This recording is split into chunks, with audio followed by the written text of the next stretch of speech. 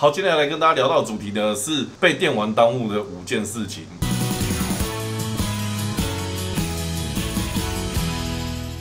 觉得这件事情要先回来看一下自己，因为这个我认为并不是厂商的错，也不是游戏本身的错误。有很多长辈呢，其实都会认为说玩电动呢是一件不好的娱乐，甚至呢电动是属于拍咪呀。我个人是觉得，其实电动呢，诶，它不是拍咪呀，反而是一个蛮好的休闲方式。而且啊，透过这样子的休闲方式哦，也可以达到一点理财效果。不过理财部分我们晚一点再来讲。那大家一定会觉得很奇怪，在我的频道啊，其实比较偏重于像电玩属性的频道，应该是要很快乐的来聊。这些游戏相关的东西，可是今天总会跟大家聊到这个被五个电玩所耽误的事情呢？因为这件事情对我自己来说非常有感。虽然我自己从小到大呢接触的游戏并不是很多，但是呢在这些游戏的体验当中啊，也是花了非常非常多的时间下去的。所以呢，我才会想要哎有感而发来跟大家分享一下我自己对于游戏的一些看法跟心得，也希望可以借由这支影片来提醒我自己，跟提醒正在看影片的你，如果有一样的困扰的话，哎，是不是要来思考一下如何做可以让自自己更好一点，更加的理性，更加的健康的来看待玩游戏这件事情。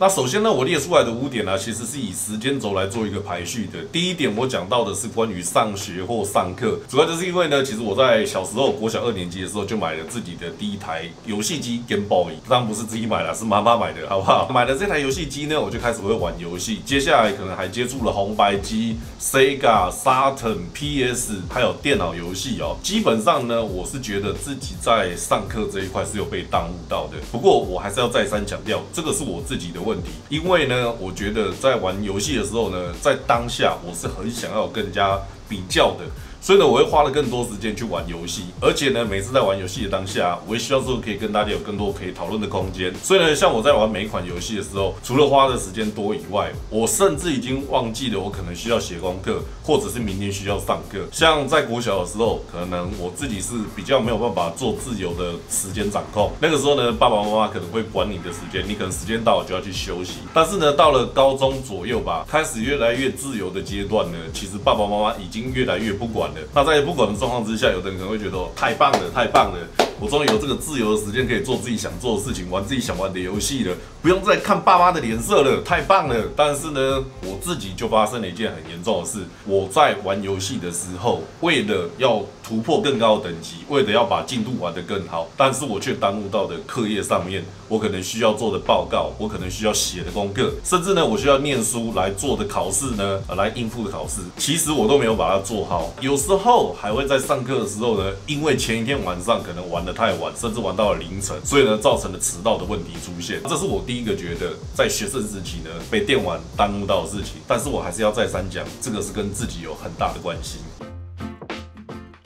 第二个问题呢，就是上班会遇到的，然后这个也跟男女朋友约会会有一点关系啦。我觉得应该有很多人会有跟我一样的问题。那上班的部分呢，其实就是跟学生时期其实是差不多的，因为啊，我们在上班之后，其实开始在玩的游戏也越玩会越疯狂一点哦。我是说，如果真的喜欢游戏的人呐，毕竟呢，你到了上班的阶段之后啊，你开始有了自己的经济能力，其实在买游戏哦，或者是要买点数之类的，都会更加的自由方便一点。像我自己呢，在出了社会之后啊，其实玩游戏虽然说我都是玩一些电脑游戏，可是呢，其实因为你时间都是自由掌控，爸爸妈妈其实已经不太会。跟你讲说什么时间该睡觉，什么时间该工作，什么时候该做些什么事情，该洗澡该吃饭哦，都是由你自己去安排。也就因为这个样子，自由度哦提高到非常。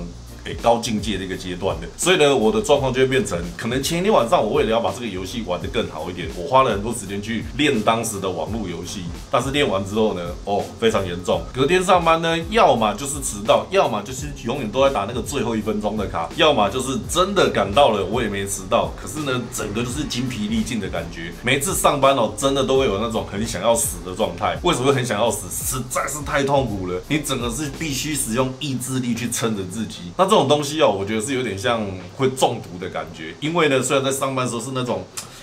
哦，那种真的很受不了，整个很辛苦的感觉。然后总觉得我今天回到家里面，我一定好好的躺下去，马上睡觉。但是呢，通常到了家之后不会做这件事情，因为差不多在准备离下班半个小时左右，我们就会开始看着表，开始看着手机，开始想尽办法想要了解现在的时间到什么时候了。等到一下班之后呢，那个精神就又恢复了，好像又。一尾活龙一样，哦，回到家电脑打开，电动打开，照样给它吹下去。所以呢，在这样子日复一日、年复一年的状况之下，耽误到自己的工作，真的就是在所难免的。约会的部分呢，如果说你有交过男朋友或女朋友的，那自己又是比较喜欢玩游戏的，我觉得啦，有些女生呢，其实是蛮讨厌男生玩游戏的。我其实自己也知道说，为什么女生会这样子讨厌。其实有时候我们一样会去耽误到他们的时间，像是约会，我们可能约好。等下七点楼下见。那楼下见的我可能要骑摩托车过去，就算只有三分钟、五分钟好了。有时候我为了玩游戏哦，七点明明就是要跟他约在楼下见的，但是七点半我可能才出现啊。七点半可能有点夸张了啦，七点十分我才出现，他可能在楼下等。尤其就像最近这种天气，热成这个样子，整个不爽呢是一个在所难免的事情。没有被打，没有去睡沙发，没有分手这件事情哦，其实就应该庆幸的。所以我一直觉得说玩电玩啊，真的要理性，有时候真的不能够为了电玩哦。失去了另外一半，这也是一件非常可惜的事。可是我还是要在这边讲，如果说你的男朋友或你的女朋友呢是喜欢玩游戏的，他如果说今天有办法把自己自律的做的很好的整理跟规划的话，其实应该去支持他这一个娱乐活动的。因为我觉得其实玩电玩并不是不好，不好的是自己的自律能力出了问题。那这个就是哦，每个人要自己做好的功课啦。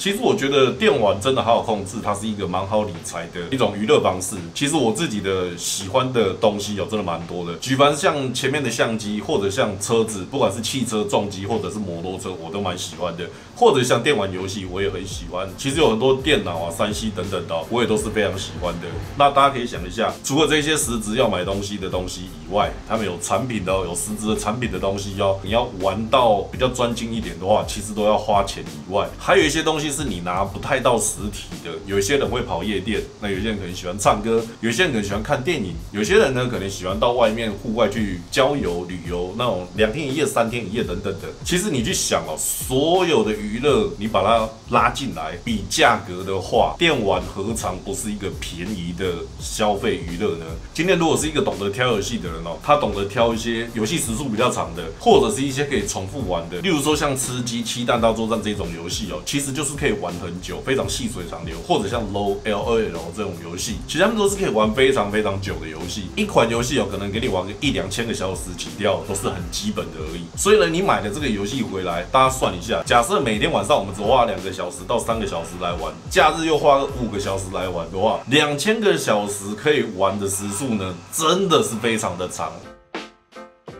那你拉开来，那款游戏就算给你要花两千块的话，其实也是相对的非常的便宜。整个娱乐费用哦，真的是非常的便宜。可是我还是要强调啦，就是前面那两件事哦，真的就是要让我们非常懂得自律。因为理财这件事情呢，也是有好有坏的事情，就是一体两面嘛。如果说不懂得控制的话，就像有一些氪手游的朋友，我只讲我自己朋友的例子，没有到很大条，没有到很大条，他们大概一个月顶多刻个两万到四万左右。虽然说没有那种刻数十万甚至上百万的啦，可是我觉得哦，在刻的那个状况啊，是因为你的收入并没有到达那么高的那种比例之下，你去克这样子的金额哦，除了造成你自己一个很大的压力以外，也造成了别人的困扰。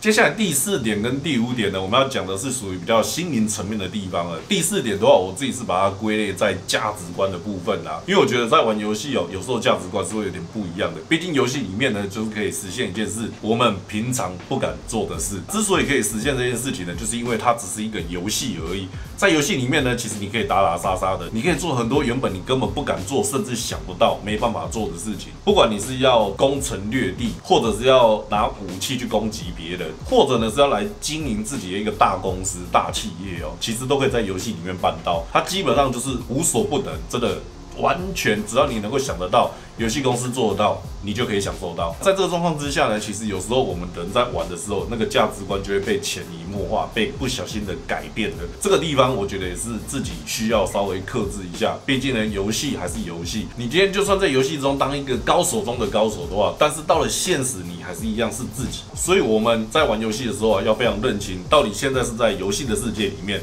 还是到了现实的世界里面。而且我觉得这个价值观呢，是应该要去很懂得分门别。累，而且让他清清楚楚的知道说现在自己正在干些什么事情。有时候啊，其实我自己就是在玩游戏的时候啦，会有一种比较扭曲的价值观，就是我可能看到同学呢做的这么厉害，他们可能在玩游戏等级怎么练的比较快，打宝的运气呢又比我们好一点，所以呢就会花了更多时间想要去玩过他们，甚至啊有的人就会忍不住去氪台币，然后呢希望可以让自己达到一个更高的境界。这个状况不管是在比较，或者是在自我的价值观扭曲状况之下，其实有时候就会做出一些比较不理性的事情。所以我觉得价值观这件事情呢，也有可能是在游戏的体验当中呢，如果没有管控好的话，也许也会成为一个不太好的结果。